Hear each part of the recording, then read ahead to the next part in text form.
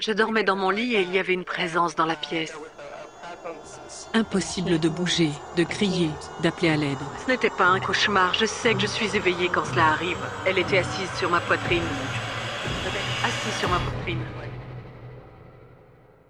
Premier storytime de la chaîne et on commence par quelque chose qui m'a énormément fait flipper, tellement que je n'en ai parlé à personne de ma famille ou personne de mon entourage. Car pour moi, personnellement, on ne m'aurait pas pris au sérieux. On m'aurait dit des trucs du style, sûrement tu dormais, tu étais fatigué, t'as cru que c'était vrai, c'est faux, etc. Quand tu as vu ou quand tu as senti des choses, c'est compliqué de d'expliquer. Si en plus de tout ça, quand tu essaies de raconter, la personne ne te croit pas, autant ne rien dire, vous voyez. Donc éteignez toutes vos lumières et je vais vous raconter le jour où j'ai été confronté à un dormi. Alors c'était le 17 mars 2018 exactement, oui j'ai préféré être précis car c'est pour vous situer et aussi comme il y a des choses qui se sont passées ce jour-là. Alors déjà j'étais en relation à ce moment-là, on était de sortie ce jour pour aller à un endroit, je ne sais pas si vous connaissez, c'est pas comme une église mais c'est un endroit où il y a des gens qui ne se connaissent pas forcément, petit comité. Il y a des louanges, des sujets, les gens prennent la parole et tout. Je ne sais pas si vous savez ce le nom, je me rappelle plus. Donc voilà, on était tous ensemble et tout, peut-être une vingtaine de personnes je dirais environ. Donc ça a duré la demi-journée, je dirais. Et franchement, quand ça s'est terminé, quand j'étais fini, j'étais tellement relaxé, tellement léger. Donc, on m'a ramené après par la suite, car il faut savoir que c'était à l'autre bout de l'île en fait. Donc, fallait que je rentre chez moi et tout. C'était il y a, c'était en 2018. Donc voilà, c'était un ami, une connaissance qui me ramenait et tout. Puis pendant le trajet, on a commencé à parler. Puis après ça, vous savez, on est aux Antilles. Donc on, on a commencé à un moment à parler de sujets un petit peu sombres vous voyez deux choses un petit peu, voilà, qui font un petit peu peur. La personne commençait vraiment à me raconter des trucs qu'il a vus, vécu, etc. Et en fait, le truc avec moi, mon plus gros défaut, c'est que moi, quand on me raconte un truc, ça reste dans la tête. Plus ça choque ce que tu me racontes, plus je l'imagine. J'imagine que ça m'arrive, j'imagine que ça arrive à quelqu'un, que ça existe et tout, plein de trucs comme ça. Et ça, ça aura un gros impact sur la suite. Donc sur tout le trajet, c'était comme ça. Il me racontait, je posais des questions, je réfléchissais. Puis arrive le moment où on atterrit enfin chez moi. Donc voilà, je le salue, je le dis prends soin de toi, etc. Je mange chez moi et tout. Euh, genre bien fatigué aussi, c'est très important aussi. J'étais bien fatigué et tout. Mais rappelez-vous de ce que je vous ai dit, quand on me raconte quelque chose, ça reste dans ma tête. Même quand je prenais ma douche, je prenais pas réellement ma douche. J'étais là avec le pommeau de douche et tout. Donc pendant ma douche, tout ça, j'étais ailleurs. Puis après ça, j'ai mangé. Puis est arrivé le moment où je voulais dormir plus tôt que prévu parce que moi, faut savoir, je suis un couche-tard. Cette journée m'a tué en fait car elle était très longue, j'étais debout, assis, etc. et tout. Donc voilà, j'ai vraiment voulu dormir tôt aujourd'hui et là...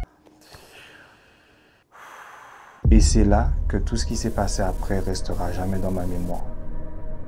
Donc à ce moment-là, donc je me suis posé dans mon lit sur le ventre je tiens à le préciser car ça a quand même une importance. Donc je me suis posé sur le ventre. Bien sûr, dans le noir, j'avais les yeux fermés. J'étais quasiment prêt à dormir en fait. Et je ne sais pas pourquoi, de plus en plus, je me sentais... J'étais pas énormément fatigué. J'étais fatigué, je ressentais que j'étais fatigué. Et je ne sais pas, plus le temps passait, plus je ressentais que la fatigue, elle montait, mais pas comme d'habitude. Quand tu t'installes sur ton lit, tu n'es pas très fatigué après ça, tu as envie de dormir directement, mais je ressentais qu'il y a un truc qui se passait. La fatigue, elle, comme si j'avais eu un gros coup de barre d'un coup, en fait. Moi, je me connais, j'ai pas des gros coups de barre comme ça d'habitude. En général, je reste sous mon lit, euh, je dirais, au moins une heure avant de dormir. Mais là, je ressentais comme si mon corps ne répondait plus. Comme si de plus en plus, j'étais tellement fatigué que je pouvais plus bouger mes jambes, mes bras. J'étais là comme ça. J'étais là comme ça, je bougeais pas. Je me disais, bon, j'ai pas prêté attention à ça. Je me suis dit, bon, c'est pas grave, c'est la fatigue. C'est bien, je vais dormir tout de suite, pourquoi pas. J'étais prêt à dormir. Mais à un moment, le truc le plus, l'un des trucs les plus flippants, il y a beaucoup de choses qui se sont passées. Hein. Genre, ce soir-là, enfin, à ce moment-là, juste après que je me sente, je ressentais la fatigue venir sur moi, je sentais l'atmosphère se réchauffer. Je sentais que, vous voyez quand, par exemple, quand il y a quelqu'un qui s'approche de toi, vous voyez, il y a une sorte de, la personne a une sorte de chaleur corporelle. Je sentais un truc comme ça à peu près. Je sentais comme s'il commençait à faire chaud progressivement près de moi.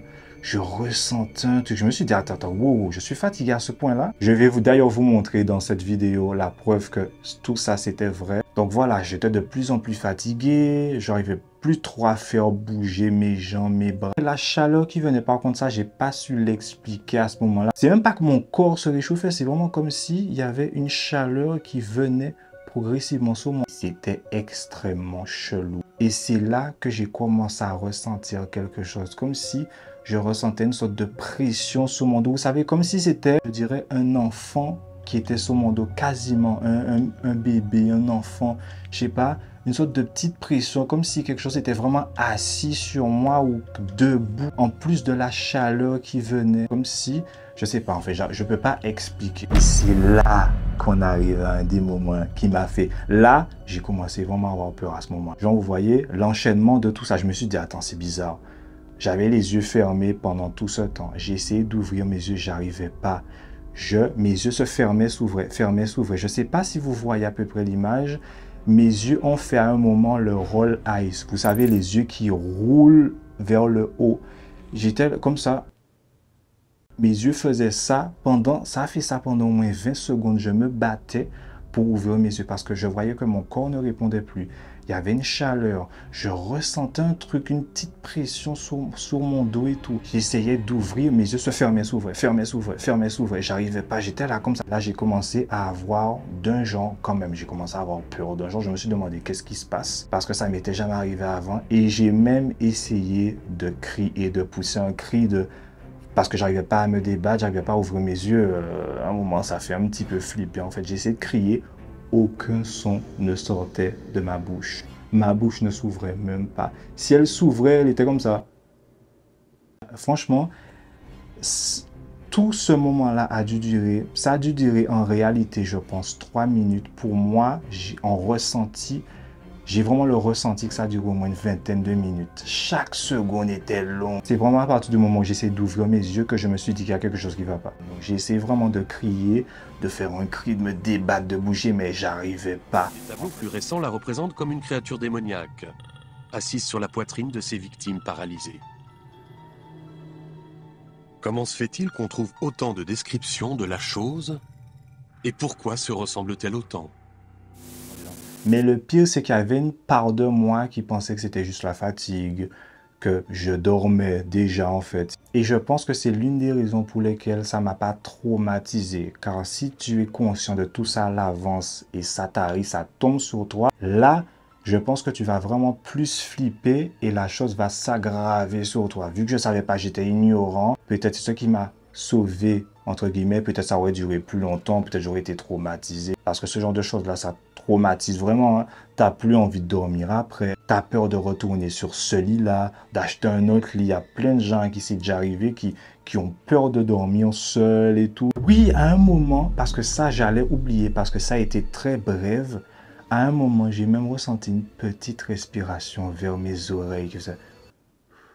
Bien sûr, la chambre était fermée, il n'y avait pas de courant d'air, il n'y avait rien. Je dors toujours la porte fermée. Tout est fermé. Vraiment, je suis vraiment barricadé quand je dors. Ma chambre, c'est un bunker. Ça n'a pas duré longtemps. C'est pour ça que ça, j'allais presque oublier de vous le dire. Ça arrivait genre rapidement. Après, ça c'est parti. Il n'y a pas eu plusieurs petits souffles. Mais quand même, ah, franchement, c'est difficile à raconter en fait. Franchement, je ne souhaite ça à personne parce que tu, as, tu ressens vraiment que ça dure une éternité. C'est comme si en fait ton âme était coincée dans un corps inanimé, en fait, dans un objet. Tu peux rien faire, rien ne répond. Quand on arrive à un niveau de fatigue aussi extrême, on est fatigué de lutter et on sait que chaque soir, en allant se coucher, on va devoir se battre encore, lutter encore. On commence à avoir peur de s'endormir. Puis à un moment, tout ça s'est terminé. Quand je, ne ressentais plus la pression sur moi, la chaleur commençait à redescendre de plus en plus, progressivement, pas d'un coup, hein, comme si tu ressentais la présence de quelqu'un partir. Et après ça, j'ai pu ouvrir mes yeux normalement et tout, tranquillement, comme si de rien n'était, j'ai pu ouvrir ma bouche normalement, j'ai pu bouger tranquillement dans mon lit.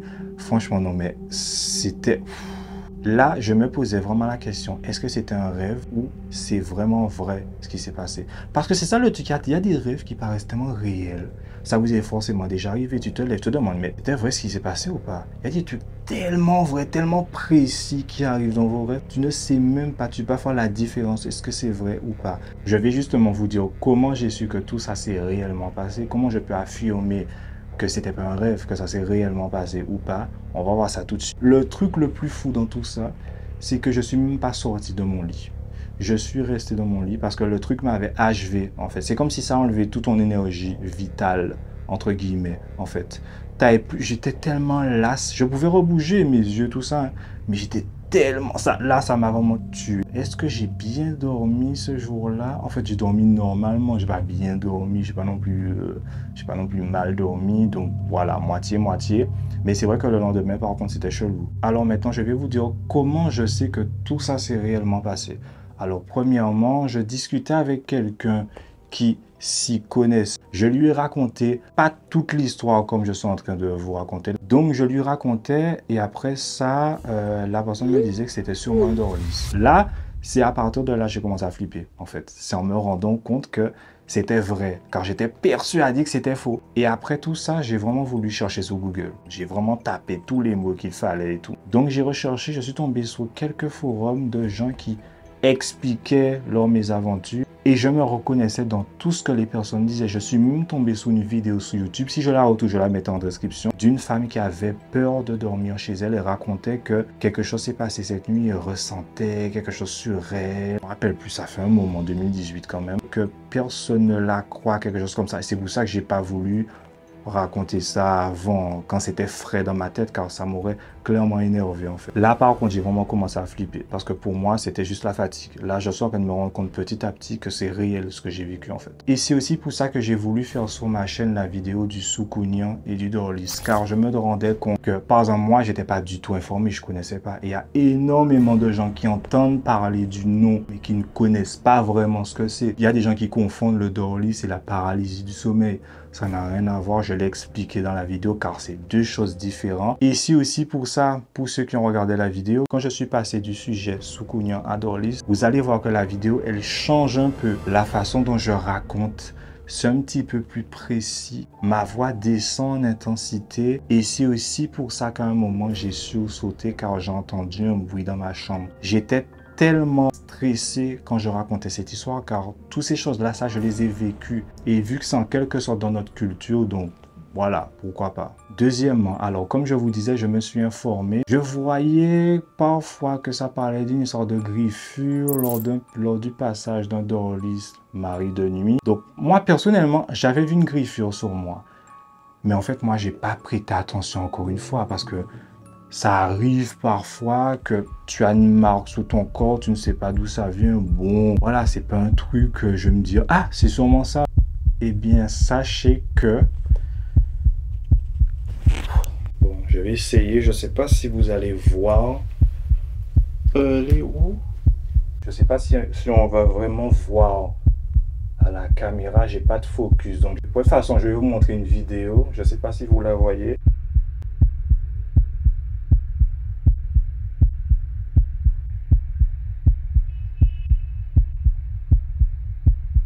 Donc, c'est une griffure que je garde sur moi depuis plus de 4 ans maintenant. Je ne sais pas pourquoi je l'ai toujours. Mais ce que vous voyez en ce moment, c'était vraiment pas comme ça au début. En 2018, c'était vraiment rouge sang. Le truc était, ça se voyait de ouf. Quand vous passez vos doigts dessus, tu sens que ça a mangé de la peau. Quand je passe le gant ou autre, en fait, ça me fait un petit peu, vu que ça rentre un petit peu dans la griffure, la matière, ça me fait un peu mal. C'est genre une fois comme ça. Mais j'ai quand même un énorme regret, le fait de ne pas l'avoir pris en photo en 2018. Parce que moi, en fait, je prêtais pas trop attention à ça. Je l'avais vu. Quand j'ai su que c'était un Dorlis qui m'a fait ça, j'ai pas, j'ai pas pris ça en photo. Je me suis dit, ça va partir dans une semaine et tout, tu vois. Mais là, en 2022, ça s'est passé en 2018, c'est toujours là. Et pour les gens qui vont me demander, est-ce que tu n'as pas déjà passé des produits pour que ça s'enlève J'ai tout fait, j'ai tout fait. Et aussi, oui, il y a un truc de bizarre avec cette griffure. Parfois, on dirait qu'elle s'efface. Et après, ça revient.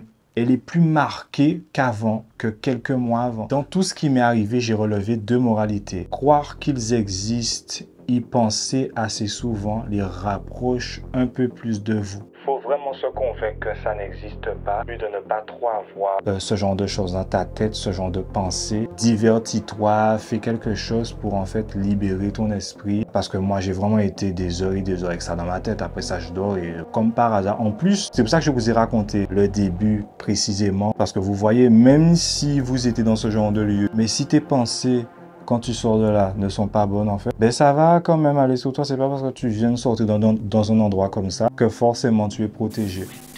Si je suis maudit, je reviendrai la nuit vous harceler. Je m'en prendrai à vos visages et j'appuierai sur vos poitrines tremblantes. Je vous priverai de sommeil par la terreur. Mais il y a vraiment une chose que je me suis dit, heureusement que je n'étais pas au courant de ça au moment où ça m'est arrivé. Je, franchement, je ne sais pas comment j'aurais été en 2018 ou même à l'heure actuelle. C'est un moment qui ne m'a pas traumatisé, mais qui restera dans ma mémoire.